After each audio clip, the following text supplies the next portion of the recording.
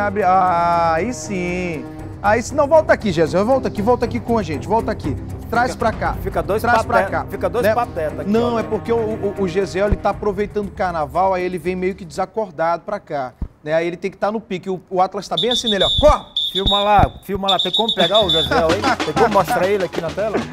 Não, bora lá, vamos chamar. Gesiel, coloca na tela aí agora as imagens, vai. Essas imagens são do conjunto Castanheira, meu povo. O que que acontece aí? Você vai perceber, olha aí, ó. Essas duas mulheres que estão acelerando a imagem, elas vão tentar entrar nesse apartamento. Só que esse apartamento não é delas, de nenhuma delas. O que que acontece? Elas estão aí tentando encontrar, eu vou dizer o seguinte, tentando encontrar acessórios para o carnaval. Né? Tentando encontrar acessórios para o carnaval. Só que aí, olha como é que elas descem, com uma TV do lado, na verdade são duas televisões, dois televisores e ainda mais outros objetos de uma outra residência que é um apartamento aqui do segundo andar. Nesse primeiro, elas foram bater na porta, mas não foi para evangelizar, não. Não, não foi para ensinar da Bíblia, não. Elas foram bater na porta para ver se tinha alguém no apartamento para assaltar o local.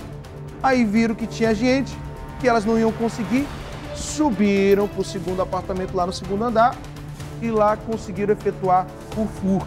Levaram dois, dois televisores e objetos de dentro da residência. Agora me diz, Valdir, é incrível como até no mundo do crime a mulherada tá ganhando espaço, meu amigo. Até no mundo do crime. É verdade, Luiz. Infelizmente são duas mulheres, né? Mas eu quero dizer o seguinte: elas deviam conhecer já o ambiente. Porque ela não ia parar à toa em qualquer rua Com e adentrar em qualquer casa. No mínimo aí, eu imagino que sejam uma, uma apartamentos, kitnets, né? Eu deduzo isso. E que elas já tenham morado, alguém já tenha morado e tenha passado a famosa fita para elas. Mas veja só, as imagens agora vai nos ajudar, vai ajudar as vítimas a identificar é, é, essas duas meliantes, que eu não posso chamar. Mulher aqui a gente não chama de vagabunda, né, diretor? Mulher bandida a gente não pode chamar de vagabunda. Não, são duas meliantes, então. A Cabra doutora tá trabalhador. A doutora, mas a doutora não apoia vagabundo, não. Depois, quando ela estiver aqui, eu vou perguntar pra ela. Então, vocês aí de casa que conhecerem essas duas meliantes aí, como o diretor gosta que eu fale, é, procure a polícia, ligue para 181, para o 190, ou entre em contato aqui com nossos números também. Eu faço questão de receber aquela ligação. Valdir, tem uma vaga... Não, vagabunda não. Tem uma meliante aqui, Valdir, roubando. Eu conheço ela, Valdir. Falei, meu amigo, então me dê os dados aí, eu vou ligar para a polícia para que a polícia tome as providências e que esses objetos de quem muito trabalhou, de quem suou para conseguir, é, seja devolvido para essas pessoas. Agora, é isso, o mais infelizmente, importante. infelizmente a gente não tem a placa desse prisma aí branco, que é quem deixa essas duas mulheres aí. Coloca aí, Gesiel, a imagem de novo aí na tela para mim, é, do momento em que o prisma chega, né? Com certeza, o cérebro, cabeça ou a cabeça dessa, de- de- de- desse assalto aí é quem está dentro desse veículo. É quem está dentro desse veículo, né? Agora, deixa eu dizer uma coisa. Cadê, Leote? Coloca a imagem do Gesiel aí. Deixa eu ver se ele tá tranquilo, se ele tá acordado, se ele tá dormindo. Vamos ter Se imagem ele tá, do tá ali o Gesiel. Não- quase não aparece o bichinho, que ele é, ele é pequeno, né? Vira, Gesiel, vira para Olha aí, cá. ó. Dá, dá um tchau aqui. Aê, Aê. tá acordado agora, Gesiel. Valdir, é Acordou. contigo, meu amigo. Então, meu amigo, agora vamos. Terreno baldios na Vila da Amazônia, centro-oeste, serve de local de quê, meu amigo? Escondericho para bandidos. Quem esteve lá? O homem, meio homem, meio alguma coisa. Ele foi criado pela avó. Só por aí você já deduz. Coloca na tela, Vanderlei. Com imagens de Shell, reportagem de Vanderlei Modesto, homem do sapato azul, eu lindo e joiado. Love me tender, love you. Elvis não era assim, olha eu todo de jeans aqui parecido Elvis Presley. Estamos em frente à CEMED, Secretaria Municipal de Educação, aqui na rua Maceió. Bairro é Vila Amazonas. A denúncia não é contra a Secretaria Municipal de Educação. A denúncia é com relação a essa estrada que dá acesso à Vila Amazonas.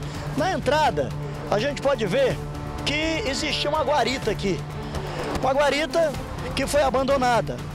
E aqui é onde as pessoas encurtam o caminho para chegarem até a Vila Amazonas. Só que esse caminho, esse encurtamento de caminho, tem dado problema para quem passa por aqui. À noite, os estudantes, eles não querem dar a volta lá por cima, que dá mais de 3 quilômetros, então resolve varar aqui. E quando chegam nessa parte aqui, aí é que a porca tosse o rabo. Sabe o que, que acontece? O pessoal pratica roubos, furtos, assaltos, tudo é questão de quê? De pegar, surrupiar as coisas dos outros.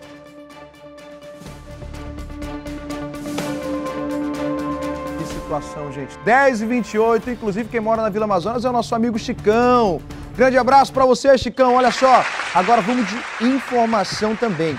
E olha só, é, um cadeirante foi morto e uma criança acabou baleada por motoqueiros aqui em Manaus. Quem traz os detalhes é a nossa querida Babi, a Bárbara Mitoso, na tela do Namira.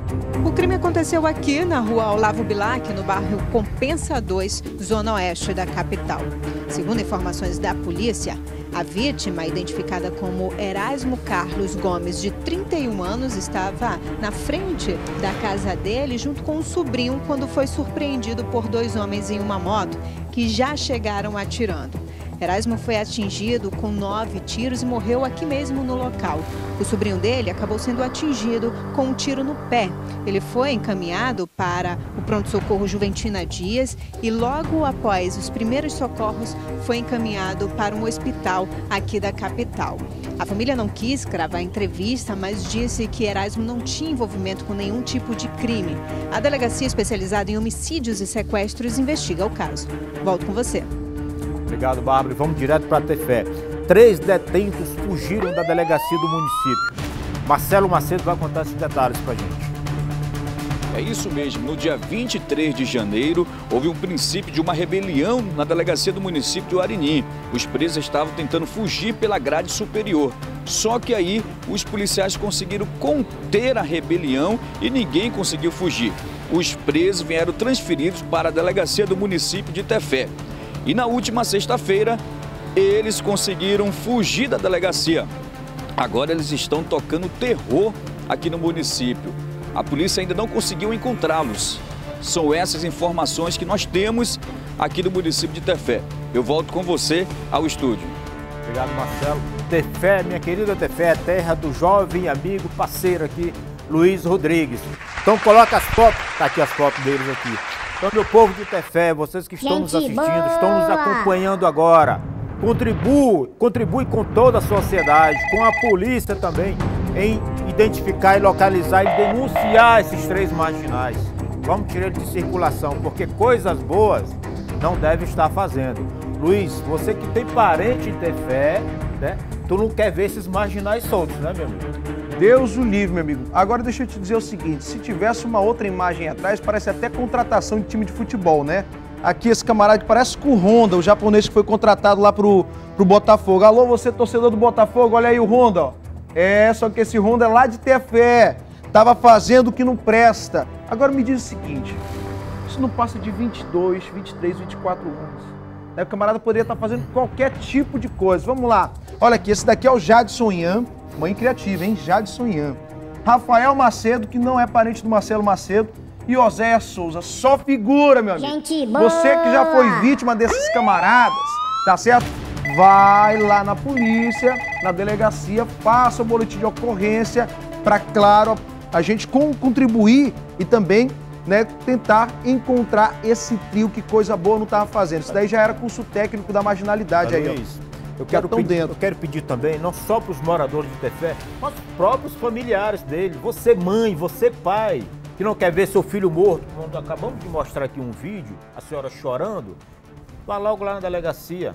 Diga onde ele está, diga para onde, qual o paradeiro deles para que a polícia possa prendê-los e eles cumprirem o crime deles. Com certeza. Meu povo, 10h32, a gente vai para o rápido intervalo e daqui a pouco nós, nós temos aqui, que já está aqui no estúdio, a doutora Débora Mafra, onde nós vamos falar sobre o carnaval, mas é claro, sobre as situações também no qual a Delegacia da Mulher sempre está atuando, né? Já viu o olhar dela pra gente, Luiz?